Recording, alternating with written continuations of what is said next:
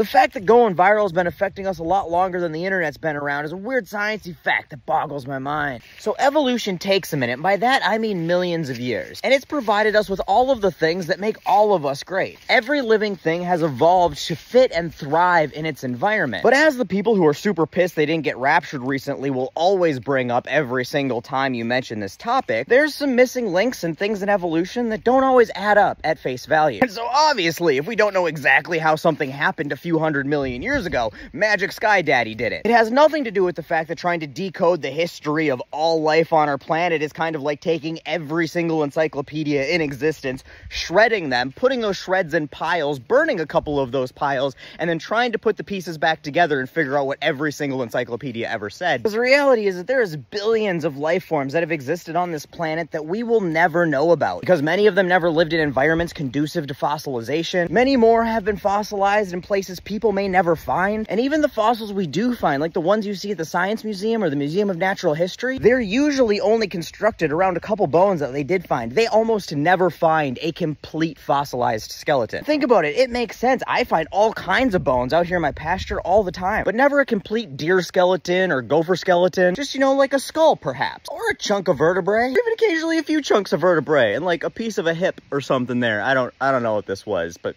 it might have been a gopher. Who knows? Point being that very few things stay intact after they die, and even fewer of those pieces ever make it into the fossil record. And that's for stuff with bones. Stuff without bones needs to get like squished into the sediment to become part of the fossil record. And it's not just the fossil record. They also figured this stuff out by looking at genetics and I don't know, geology. Probably uh, these people are way smarter than me. I'll, I'll just take their word for it. Point being that a lot of times when we're figuring out our past, we've got one partial page of that encyclopedia that tells us what was going on at one point, and a corner of another page that tells us what was going on at that point. And until we can find more pages, sometimes we need to make some educated guesses on how those pages in between may have been written. And that's how science is supposed to work. You make the best possible conclusions from the best possible evidence you currently have. And then when the evidence changes, your conclusion changes with it. Or, you know, it's a magic dude wearing robes in the sky. E equally plausible. But anyway, one of those missing pages in the evolutionary encyclopedia is one of the most important developments in the history of all life on Earth. And that is myelin. Now, myelin is kind of simple stuff. If you think of your body like a machine, your skeleton is the frame or the structure, your muscles are the motors and hydraulics, and your brain is the control panel that's telling everything what it's supposed to be doing. And to get those signals from your brain to, well, everything else, you have a nervous system, which is like your body's wiring harness. And quite literally, your nervous system is, is basically wires. Now, wire is really good at sending electrical impulses, which is really how your brain communicates with the rest of your body. That's why we use wire for an electric fence. And as long as this electric fence isn't touching anything, anything, that signal has no problem shooting through this wire. But the reason that this electric fence works, if it were on right now, I, am not feeling that tough, is because as soon as that wire is touched, that electrical impulse transfers into the thing that's touching it. So if the wire ends up touching something like this fence post that doesn't have an insulator on, that electrical signal stops here and enters this fence post, and nothing past this could get that shock or that electrical signal. So when you want to protect that electrical signal so it makes it to its final destination, you do what your health teacher told you to do and you wrap it up. That's what rubber coating does on these wires, and that's the same thing myelin does for your nervous system. This is an evolutionary trait shared by nearly every vertebrate on Earth, and it's very hard to be a vertebrate without it. Because without myelin, you can't get very big because those electrical signals can't travel very far, and you can't move very fast because those electrical signals don't travel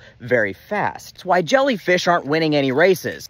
But Sedona is very fast vertebrate right here. One that rolled in shit again. Why do you do that? The mystery with myelin in our evolutionary history is the fact that it just appeared practically overnight. Before 500 million years ago, there was no myelin, and then there was. And they really didn't find any evolutionary chain of events that explained how we evolved myelin. We just didn't have it, and then we did. And usually there's steps along the way to developing new things. Well, it turns out one of humanity's biggest nemesis may be exactly who we have to thank for this evolutionary trait that allowed us to become us. Sadly, anti-vaxxers are gonna love this shit, because uh, it turns out it was a virus. What doesn't kill you makes you stronger is generally not true. Look at polio. But in some cases, Apparently it is. Some viruses can alter your DNA. It's called retroviral DNA. And generally, they do this because it makes our bodies more hospitable to them. This is what HIV does. It changes our DNA and allows the virus to be successful in our body. And sometimes those viruses make inheritable DNA changes, which means that altered DNA can be passed on to your offspring. And this isn't as uncommon as you might think. 8% of the human genome stems from retroviral DNA. Now, in many ways, that's not great. Tons of cancers that we get are because of that. Some appear here to do nothing, but occasionally, every once in a while, and maybe just this once, I don't know, I haven't done that much research, uh,